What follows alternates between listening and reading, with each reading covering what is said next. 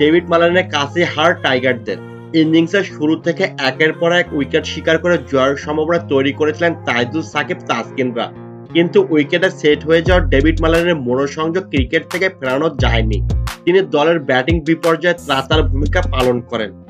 Match জেতানোর শত রানের পাশাপাশি মালানের হাতে উঠেছে ম্যাচ সেরার পুরস্কারও। সংখ্যা তথা আজ এই ইংলিশ টপ অর্ডারের চার নম্বর ওয়ানডে শতক। কিন্তু মিরপুরে বাংলাদেশের বিপক্ষে করা শত রানের ইনিংসটি অন্যরকম। পঁয়ত্রিশ বছর বয়সী এই ইংলিশ মনে করেন, তার কেরিয়ারের সেরা ইনিংস এটি।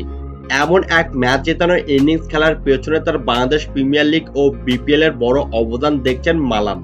ঢাকা প্রিমিয়ার লিগের খেলা গল্প শুনিয়ে মালান বলেন, সেটা দু হাজার তেরো সালের ঘটনা।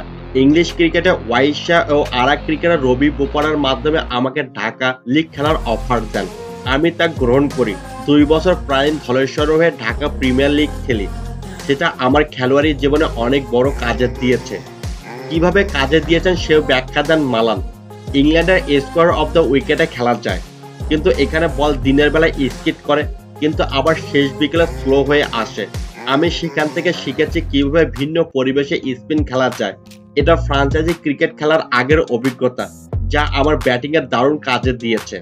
মালান আরও যোগ করেন আমি এদেশে খেলে অনেক অভিজ্ঞতা সঞ্চয় করেছি। এখানকার উইকেটে ব্যাট করা সহজ কাজ নয়। বিশেষ করে শুরুতে স্বাচ্ছন্দ্য খেলা কঠিন। শিশির পড়ার পর একটু সহজ হয়ে যায় উইকেট মালান বোঝানোর চেষ্টা করেন। দীর্ঘ সময় ক্রিজে থাকতে পারলে এখানে লম্বা ইনিংস খেলা যায়।